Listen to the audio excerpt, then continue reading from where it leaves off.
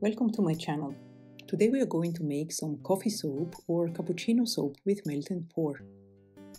First, we are going to prepare the embeds that we will add on top of the soap.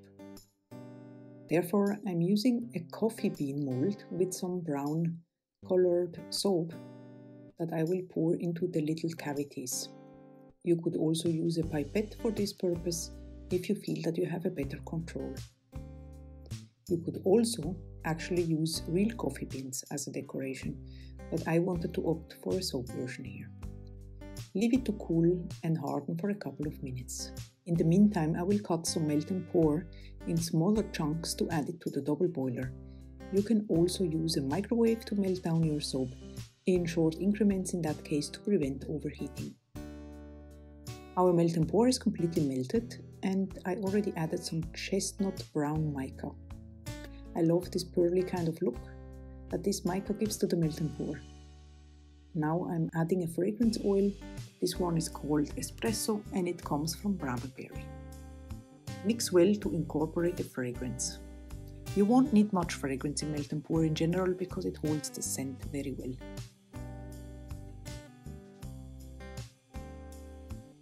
One to three percent is enough. Now it's time to pour the soap. I want to use a round mold, but you can use any type of mold that you want. I will leave some links down in the description where you can find all the tools and ingredients for this project as well. Fill your mold only about 3 quarters, so you can still add the foam later on. If you see air bubbles on the surface, just spritz them away with some rubbing alcohol. Allow this layer to completely harden. In the meantime, we can cut down some melt and pour soap that we will use to create the foam on top of the coffee or cappuccino.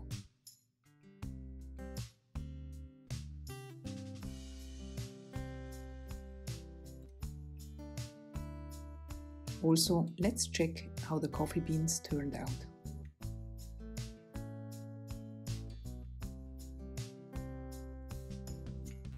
Think they turned out pretty cool.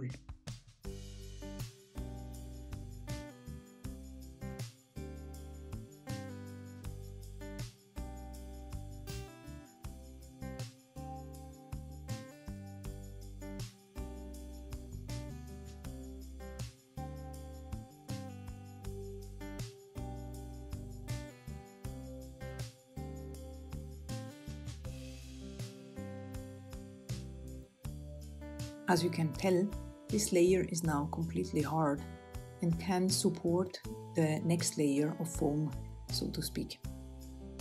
Here is the melted soap and first I'm going to add some white colorant. Instead of titanium dioxide I decided to try some white shimmer mica, especially for this kind of project here, to see how it turns out. Make sure you mix it well and you get rid of all the clumps. You can also use some rubbing alcohol to break down the clumps if needed.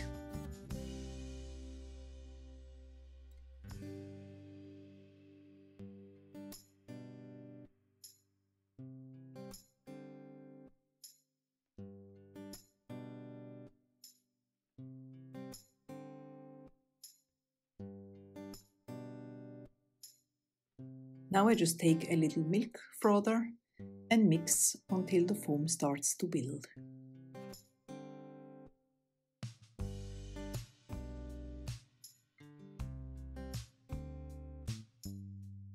Can you see the little soap bubbles flying up?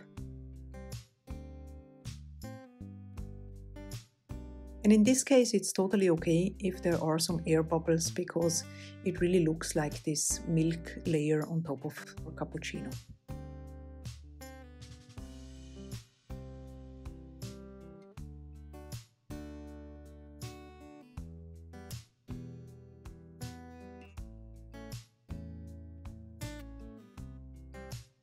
Once you're happy with the consistency of your foam, spritz the first layer with rubbing alcohol and then pour a white soap on top of your brown soap.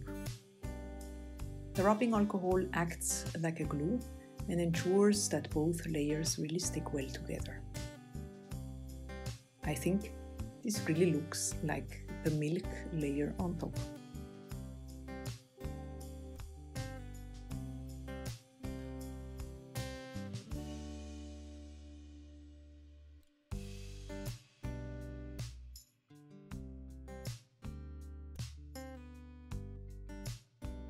I'm just going to add a little bit more on top to see if I can build up the foam a little bit more.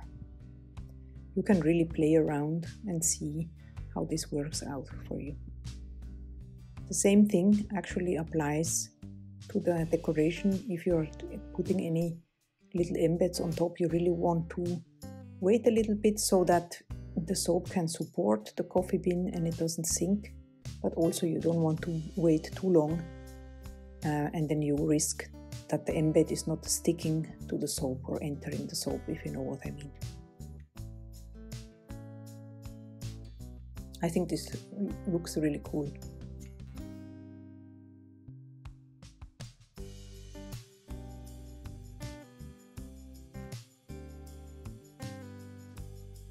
As a final touch, I would like to add some mica sprinkles on top to mimic the typical cacao that uh, you would add on top of the cappuccino. For this I just take a knife and sprinkle it on top. You could also use a tea strainer or even a salt and pepper shaker, whatever works best for you.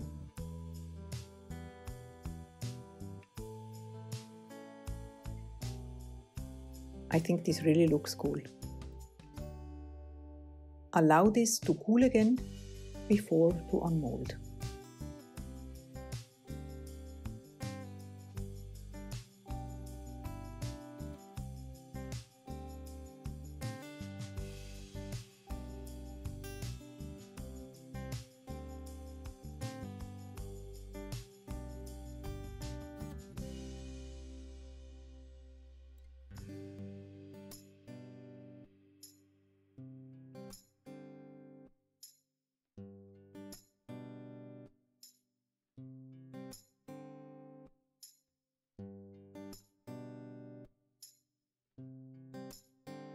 And here you have a really cool coffee soap and it smells amazing as well. There are more melt and pour soap videos and ideas on the playlist that you can see here on the screen for you to check out.